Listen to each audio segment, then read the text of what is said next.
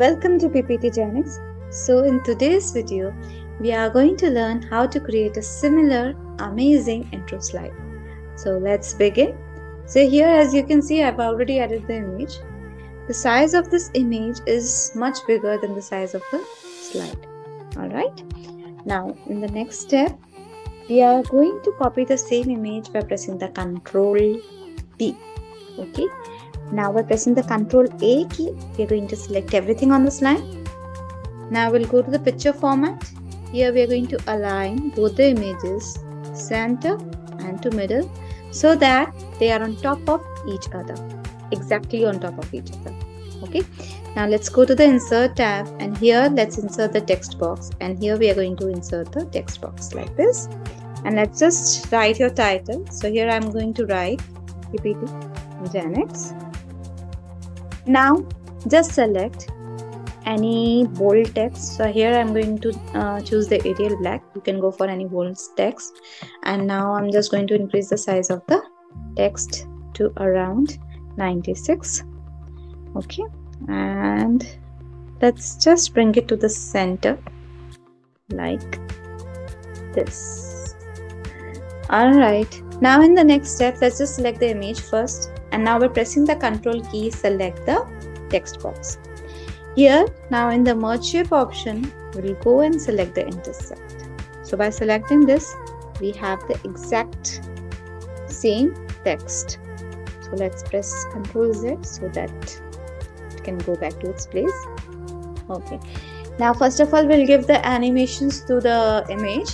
So let's go to the animation tab here so first animation we will give the grow and shrink animation go to the animation pane let's go to the picture one and in the effect options instead of 150 percent we will go for around 80%. Alright, so basically we are reducing the size. That's it, like this. Okay, now in the next step, to the same image, we will go to the add animation and scroll down. We'll go to the motion path, line. That's it. Done. Now let's just give animations to our text. So for that, select the text box and here select grow or shrink so we want the text to grow like this only perfectly fine and now select the text box one more time and in the add animation same way the motion path lines okay? And this time it should go up. Okay?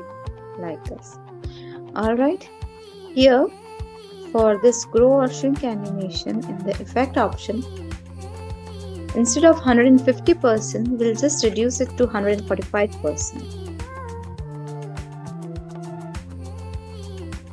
Perfect. Alright, now we are just going to select all the animations together. And let's just select start with previous and duration. I'm going to set for 10 seconds. It's your wish. How much you want. That's it. And now let's have a preview for the same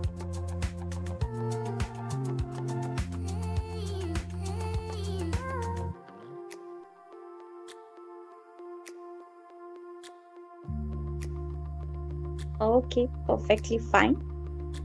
Now in the next step we have to give some outline to the text. So for that again we are going to select the text box. We'll go to the add animation and in the add animation we are going to give the line color okay? Now in the effect options we will give this yellow color all right now we have chosen this color. Now we'll go to the more effect options and here the style. I will go for this and I'm going to select the smooth and approximately like this and press OK. Now the duration for this i'm going to set for 5 seconds.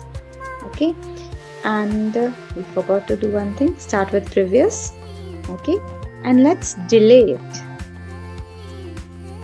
by around 6 seconds all right now let's have a final preview for the scene.